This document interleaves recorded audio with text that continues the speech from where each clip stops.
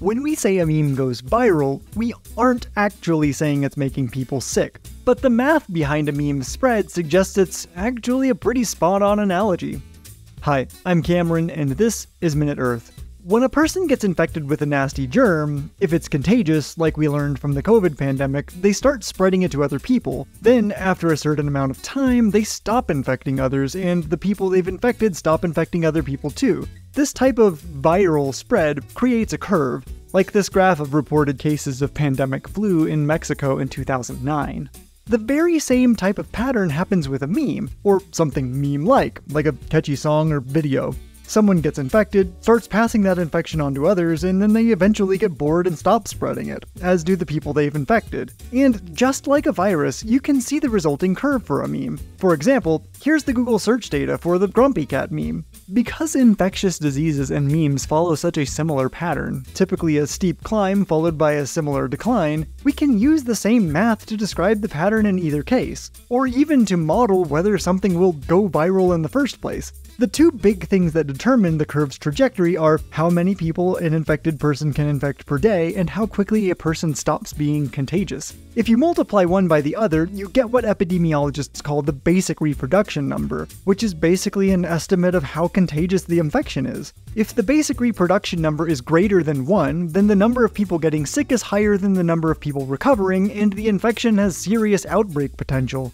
By plugging in the numbers for that 2009 outbreak of pandemic flu in Mexico, we get a basic reproduction number between 1.5 and 3, depending on the source of the data. And if you do the same thing for Grumpy Cat's Google search data, we can estimate that it had a reproduction number of 7.3, which is pretty viral, but others are even more viral. In 2012, again, based on search data, the overly attached girlfriend meme likely had a basic reproduction rate of around 11. That's only slightly less than measles, possibly the most contagious virus in the world, which has a basic reproduction number between 12 and 18. Most diseases, though, aren't as infectious as superviral memes. However, it's worth mentioning here that the reproduction number is just a measure of how quickly a virus spreads, not necessarily how deadly the disease is. Even COVID, deadly as it is, only has reproduction numbers between 2 and 5.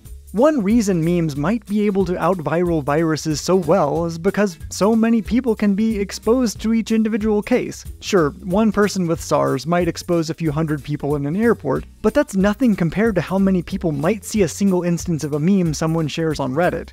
Another reason is that, in the case of diseases, we are constantly taking measures to prevent their spread, which actively lowers their reproduction numbers, while we don't take any such precautions with memes. So the spread of a meme is not identical to the spread of a virus, and it's not like understanding why Gangnam Style briefly took over the world in 2012 will enable us to stop the next pandemic. But it's uncanny how intertwined memes and viruses are, even the practice of calling something viral has been an incredibly successful meme, something that has infected us all and won't go away anytime soon.